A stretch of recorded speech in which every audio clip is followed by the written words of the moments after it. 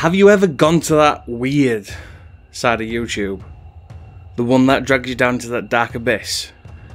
And you start questioning life in a way? Well, on my travels across YouTube, on that side, I found this little fella. His name is Oscar, and Oscar is a modular body. No. Enough said. Let's just let's let's just take a look. Roll clip. Connect the brain to the heart module to activate the blood circulation. Now, the lung is going to start breathing. You can see both organs are now collaborating.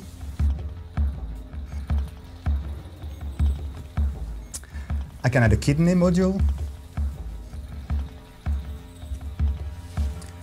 And if I add a limb module, Start actuating the organism to move. Now it's looking for the optimal temperature, which is 37 degrees. If I add another limb,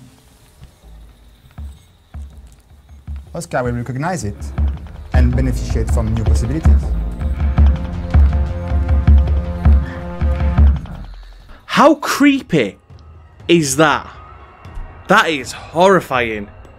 I mean, it's fake, obviously. But who in the right mind would want to make something like that? I mean, those legs are.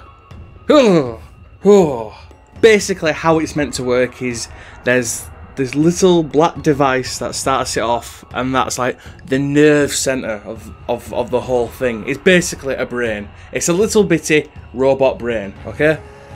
Then you get your lung module, then your kidney module.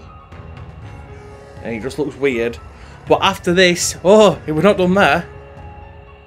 There's leg modules as well. Now these legs are nightmare fueled, right? I hate the look of these legs. Thank God it's fake. I hope this worm thing keeps you awake at night. Like it's kept me awake at night, because this thing is just terrifying. Sleep tight.